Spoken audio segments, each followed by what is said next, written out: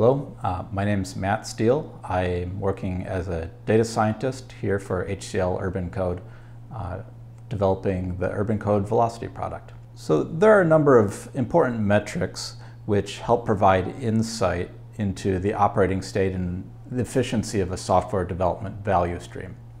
Um, tracking these metrics uh, can provide a better understanding of the processes, help us to diagnose and solve, uh, as well as prevent inefficiencies in the software development value stream, um, and help facilitate better and more accurate communication with um, the consumers of the end products of a software development value stream. Two of these metrics which I'd like to discuss today are the lead time and cycle time metrics. Lead time is a measure of the time until uh, value is delivered from an idea by a value stream, and cycle time is the amount of time which value is actively added to an idea in the value stream. So to take a, a deeper dive into things, uh, lead time is essentially the measurement between two endpoints. Um, uh, the initial endpoint is when an idea is accepted into a value stream as a work item.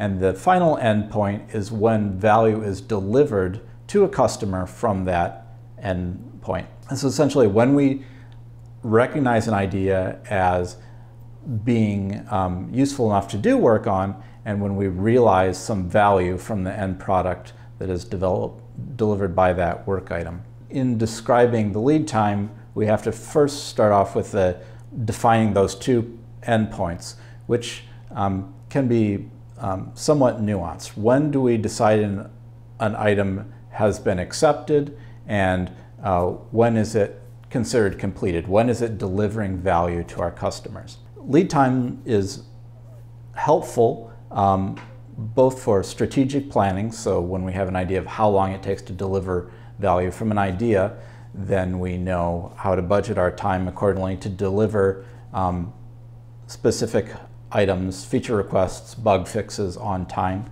Um, and allows us to provide um, complete and accurate communication with our customers so they know when they can expect given outcomes from uh, our uh, software development value streams. Traditionally, lead time has been somewhat hard to measure because it does define or does depend on these specified endpoints of when we're defining acceptance and when we're defining completion. In the software development land, different segments of the value stream have traditionally been defined by different processes. We have a development process, we have a design process, we have a deploy process. The, the times associated with a given uh, work item are not necessarily tracked by the same tool. So just doing the simple subtraction of when taking the completion time from the beginning time is non-trivial because those two timestamps live in different places and so it can be hard to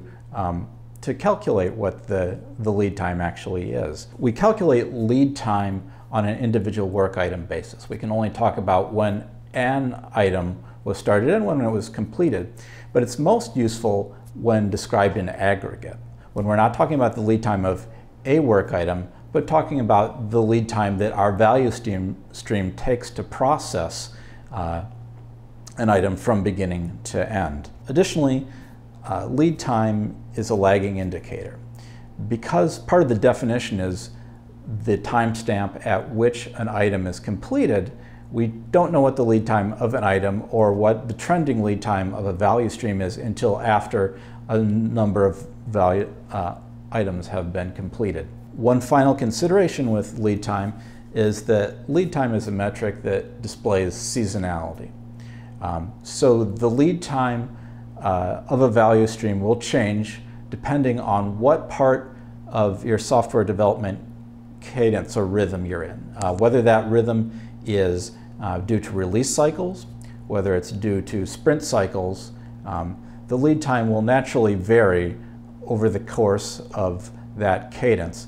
And so when making comparisons of lead times, we need to either compare like times to like times, so the beginning of a sprint to the end of the sprint, or um, excuse me, the beginning of one sprint to the, the beginning of the next sprint, or average over the entire cadence. The same way that um, other seasonal metrics like um, unemployment rates are described as seasonally adjusted unemployment rates to balance out the effects of um, natural variation over a cycle. Cycle time is similar to lead time in a lot of respects, but it measures a different part of the value stream. So when we talk about um, cycle time, we're talking about the amount of time that is uh, put in to actively adding value to a work item. So the amount of time we're working on an item. Um, it also has two defined endpoints. Uh, it shares one of those endpoints with lead time. That's the completion time, when, when a work item begins to realize values for uh, the consumer of the products of the value stream. The start point is different for cycle time because that's not, it is not an acceptance of the work item um, as in lead time, but the beginning point of the cycle time is when work actually begins on the item. Because of this definition, this difference in starting point definitions, uh, there are different use cases for cycle time, right?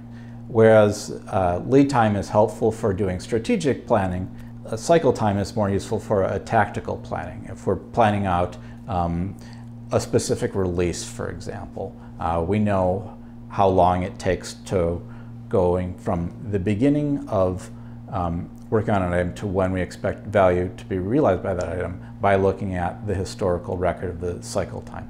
Cycle time is also helpful in uh, understanding and monitoring the software development process um, because it tells about the amount of time that is uh, actively goes into working on each item. We can monitor that to see if our time is getting longer, uh, maybe inefficiencies are creeping into the process, or if it's getting shorter, maybe we're getting more efficient processes, or um, maybe we're dropping the ball somewhere. So that gives us a cycle time gives us an insight into the uh, software development processes that uh, imprint themselves um, on time durations. Similar to lead time, uh, cycle time is measured on the individual work item basis, um, but is most useful in aggregate when we talk about uh, the average cycle time of work items incorporated in a release, for example, or the average cycle time of all the items we've completed in the last quarter.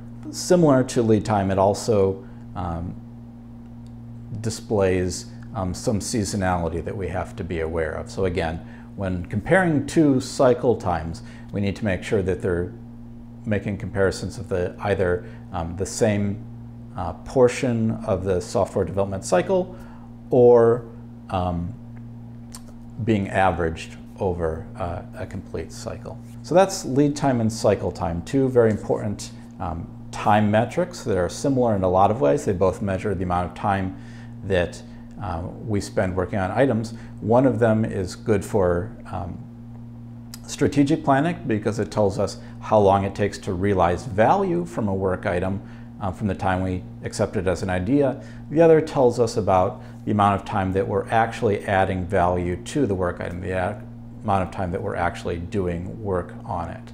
Um, so hopefully by tracking and monitoring these two metrics, you can get a better understanding of your software development um, value stream um, and be able to communicate more effectively with the consumers of the products of your value stream.